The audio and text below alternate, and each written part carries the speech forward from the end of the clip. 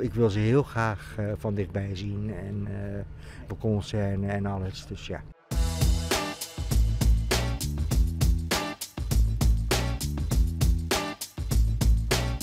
Hoeveelste keer? Uh, sinds 1983, 4, ja, 83, 84 zo'n beetje. Elk jaar? Ja, er is, Prinsjesdag is nooit, is nooit een keer overgeslagen door mij. Het is uh, Prinsjesdag, ja, derde ding van, van september natuurlijk. En het is altijd een bijzondere mooie dag. Niet alleen om uh, ja, de koning en de koningin te zien, maar ook iets voor de mensen te doen. Ik probeer elk jaar iets anders te doen. En dit jaar gaan we geld uitdelen. Nou, maar dat is heerlijk. Hoeveel geld heeft u bij zich? in ieder geval allemaal zakken bij en allemaal muntjes. Dus dit zijn allemaal de guldens. En, die, en de bijzondere mensen krijgen een gulden in een heel mooi doosje.